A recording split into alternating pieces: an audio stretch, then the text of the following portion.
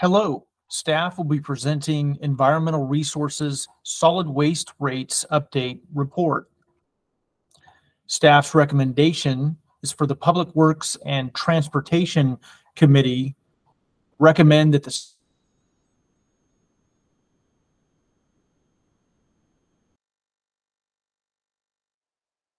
to receive and file the solid waste rates update report. Background. At the December 5th, 2023 City Council meeting, four solid waste rate scenarios were prepared for discussion and feedback. Staff and the city's solid waste rate consultant, Raftelis Inc., discussed the scenarios and the following topics were discussed. Rate setting process, legal requirements, financial planning, solid waste cost of service, and rate design. The City Council provided their feedback and recommended scenario three out of the four scenarios.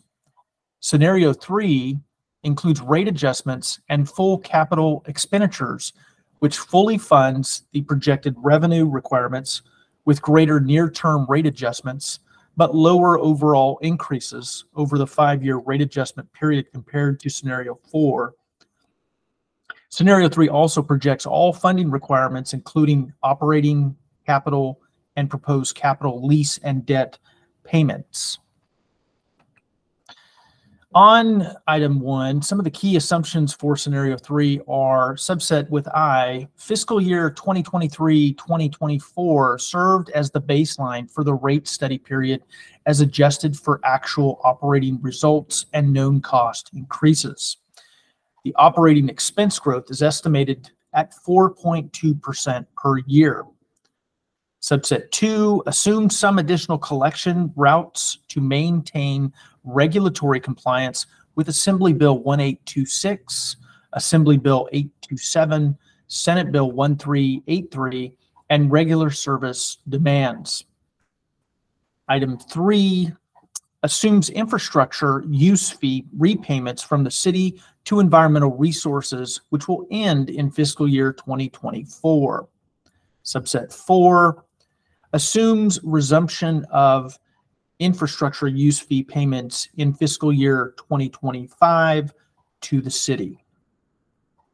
Continuing on with the key assumptions of scenario three, subset five, $40.7 million reinvestment into the material recycling facility, including new equipment and a roof in fiscal year 2026 through fiscal year 2028. Subset six, replacement of vehicles at the end of life in fiscal year 2024 and 2025. Subset 7, uh, scenario 3 provides compliance with California Air Resources Board zero emissions vehicle requirements, primarily relies on use of capital leases and debt to fully fund the capital expenditures. Uh, subset 8 uh, scenario three represents necessary rate adjustments to fund a fiscally sustainable operation and maintain regulatory compliance. And uh, for scenario three, staff was given direction to proceed with the creating and sending the required Proposition 218 public notices to all solid waste customers and property owners. Um, direction was also given that uh, staff target a rate setting public hearing and the introduction of a new ordinance containing the proposed solid waste rates at the City Council meeting scheduled for March 19, 2024. Direction was also given to plan on adopting the ordinance at the City Council meeting on April 16th, 2024. So the final cost of service study is complete and it is available for the public to view online at www.oxnard.org forward slash refuse rates. The table below represents a comparison of the preliminary estimated residential rates. This would be for three 96 gallon cart service presented to council on December 5, 2023, and the final rates included in the Prop 218 notice. So presented to the council on December 5th, 2023 was a monthly rate for a three cart 96 gallon refuse service. Um, and then below that, you have what was issued on the Prop 218 notice for the same monthly rate of a three cart service, 96 gallon refuse cart. And then the very bottom, you see a difference, which shows the difference of what was presented to staff on December 5th, 2023 for the five fiscal years, fiscal year 24, 25 through fiscal year 28, 29. And then what was mailed on the Prop 218 notice to see the work that has been done since that December 5th council meeting.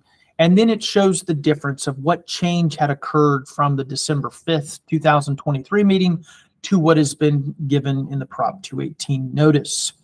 You'll see that the change for fiscal year 24-25 was $1.24.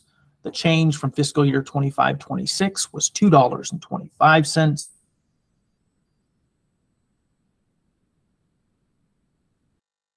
And the change in fiscal year 27-28 was $1.23 with no change to fiscal year 28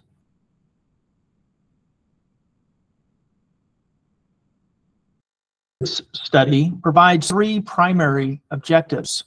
Number one, develop a financial plan for the Environmental Resources Fund to ensure financial sufficiency, meet operations, and maintain costs, provide funding for capital replacement and renewal needs, and improve the financial health of the enterprise fund. Number two, review the current rate structure for the Environmental Resources Fund and propose recommended changes based on the cost of service study. And number three, perform a cost allocation and prepare a recommended five-year schedule of rates and fees for the Environmental Resources Fund.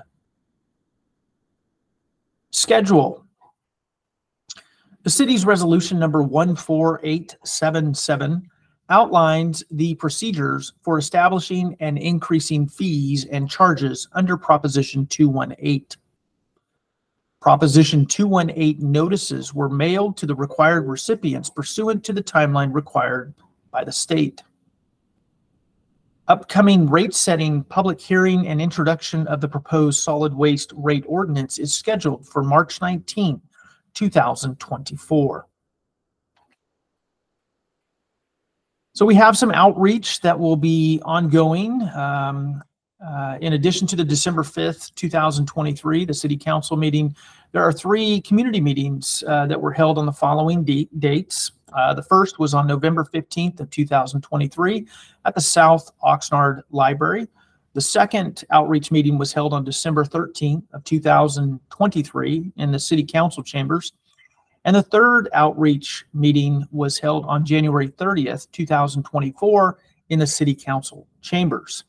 Uh, some upcoming outreach meetings are scheduled for February 29th, 2024. This is an in-person town hall style meeting at the South Oxnard Library.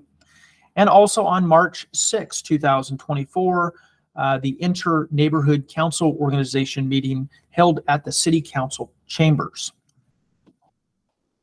Financial impact. There is no financial impact from receiving this solid waste rates update report. Staff is available to answer any questions. Thank you.